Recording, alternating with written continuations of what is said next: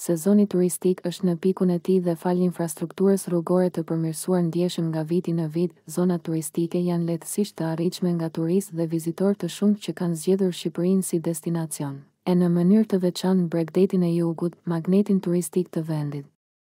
Në këto ditë fluksesh të larta të lëvizjes së automjeteve janë hapur përkohësisht për udhëtarët dy akset e reja Orikum, Dukat dhe Palasë, Dhërmi, duke lehtësuar ndjeshëm qarkullimin e tyre.